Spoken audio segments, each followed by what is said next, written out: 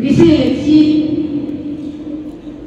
للاتحاد العام التونسي للشعب من بيت فرحات حشاد من منبر إحياء الذكرى 67 للثوره